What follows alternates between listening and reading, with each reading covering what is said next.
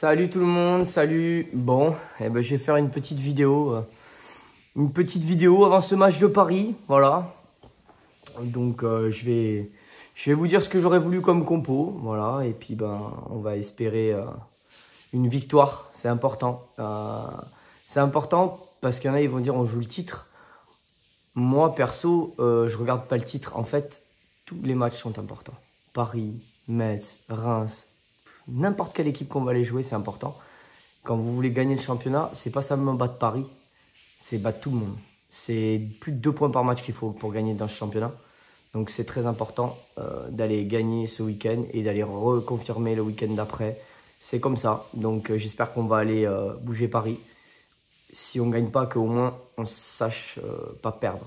Voilà. Petit aparté, vite fait. Je vais en parler un petit peu.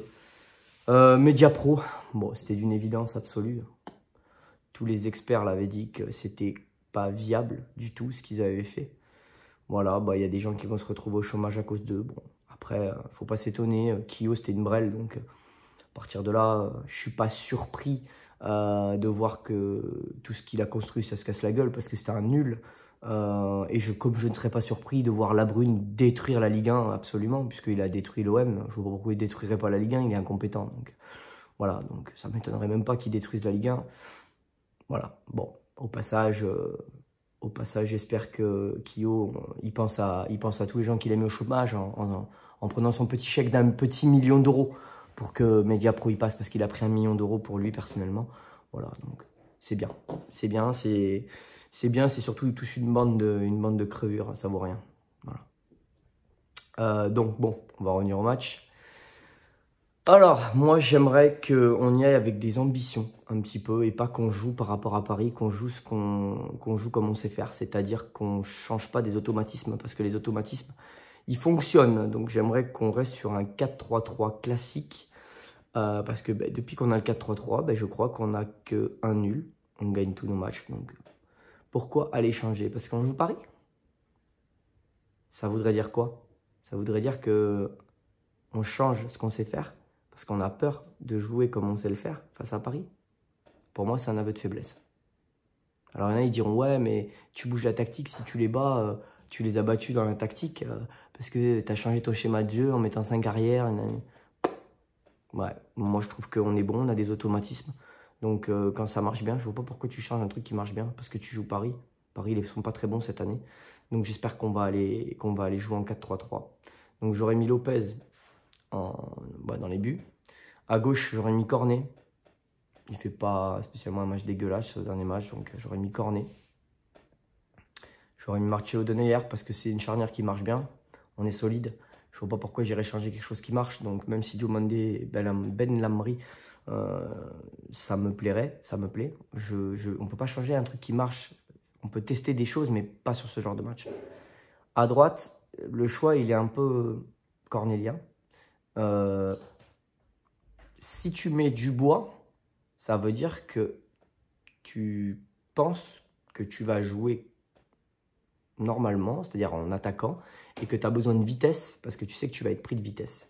Si tu mets des Cheglio, c'est un petit peu plus pour la tactique, l'expérience, euh, le côté euh, plus technique de Dubois que Dubois, et euh, tu sais que tu vas en gros pas jouer le contre, quoi, que tu vas jouer le contre, que tu vas pas forcément que tu vas pas subir des contres, donc que tu as moins besoin de vitesse, parce que je vous dis ça parce qu'en fait à mes yeux Dubois il est beaucoup plus rapide que des Cheglio, mais il est surtout beaucoup moins bon.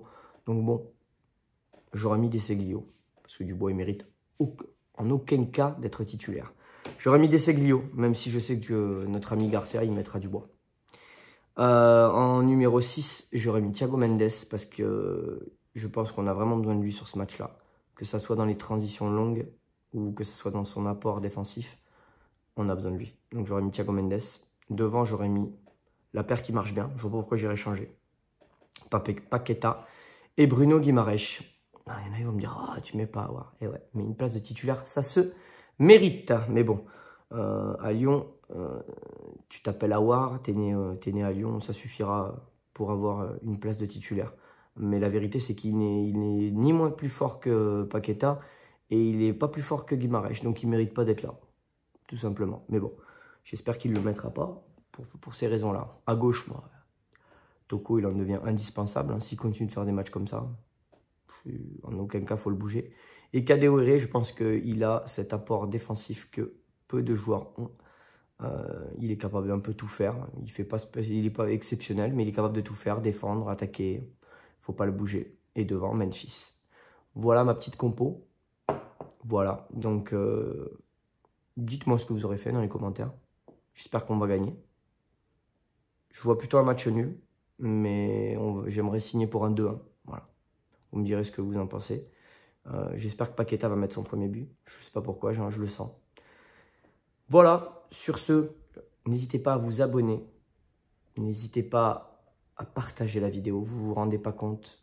La petite cloche aussi, si vous la mettez, c'est encore mieux parce que vous savez quand je mets ma vidéo. Euh, ouais, autre chose aussi.